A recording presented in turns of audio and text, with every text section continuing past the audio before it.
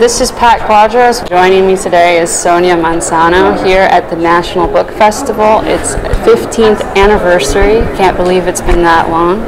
Thank you so much for joining us today. Sure, my pleasure. And we're here to talk about your new book, Becoming Maria. It talks about your time, uh, your childhood in the Bronx. So, kind of go into that a little bit more and the experience of writing the book. Well, it, it's up to when I started my career on Sesame Street, and I lived in the South Bronx in a very tumultuous uh, environment with uh, domestic violence and and and poverty, and uh, it strikes me as somehow funny that I ended up being a character on an educational comedy show, and I wanted to examine my journey, see where I went right, where I went wrong, uh, what I could have done better, and it gives me a chance to reflect now. Is it very challenging to have that lens turned on yourself and to be that honest and I have a strange capacity for remembering things that happened in my as a preschooler. And I was always fascinated by that time in a kid's life when you're really trying to put two and two together. And I wanted to share that with others. I think it informed my life on Sesame Street, and I wanted to. Uh, to, to, to take a good look at myself. There's a funny line in an Alice Munro book where one character accuses the other of living in the past. And the character says, I don't want to live in the past, but I want to take a good look at it. And that's how I feel. You recently retired from being Maria on Sesame Street. Yeah. And I remember growing up watching Right. you.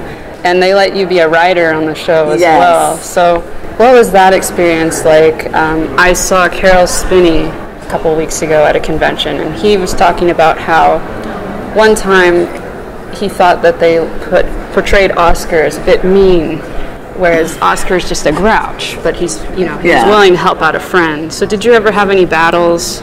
Um, not battles, but things that you really wanted to fight for at the show. I think they were very supportive of me. I wanted a better, a more accurate representation of Latino culture on the show, and they were quite open for for that. I mean, simple things like there was a, a fruit cart on the show that it had bananas and apples, and I said, if this is a diverse neighborhood, it should have coconuts and mangoes and plantains on it, and and- Plantains, and, and yes. stuff like that. That people say, oh, this must be a Latin neighborhood.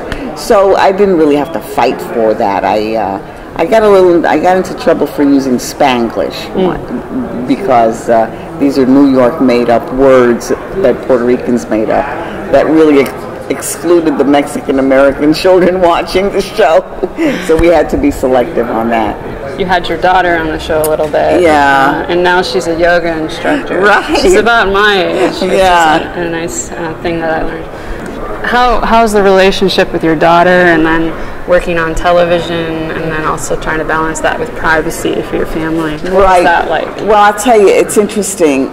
Children are born with their own set of tools, the same way I was. I was born in this crazy family, but I had my own set of tools that helped me keep my head above water. And I like being in front of people. Gabby was born with her own set of tools, and she does not like to be in front of people. She did not want to be on Sesame Street, which I was really shocked. I would want to be on Sesame Street. She wanted to hang out with the Muppets in the Muppet Room. and the in- Muppets are coming back. yeah, right, right, right, right. But she, this was her her own sensibility, and I sort of had to respect that.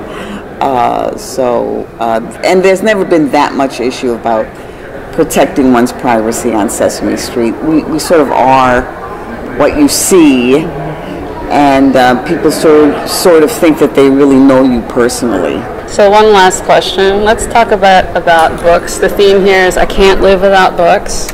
Um, so how do you balance, you know, television and encouraging parents to balance out the time between reading and television? Because Sesame Street, you know, teaches a lot about words and reading. Right, right, right. Well, I always tell, uh, I always alert them to the fact that kids have tastes. If you want your kid to read, they might not read a murder mystery. They might like a baseball book, or they might like a love story, or they might like a, a fairy tale book. I think a lot of parents just say, read, read, read, without thinking that a kid might have taste uh, over one topic.